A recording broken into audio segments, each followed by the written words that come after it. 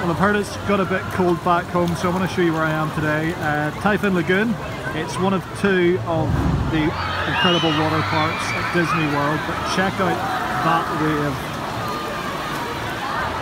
Catapults you two, three times the height I would be, right up this lagoon, and that is the largest wave pool outdoor in the entire world. Pretty cool.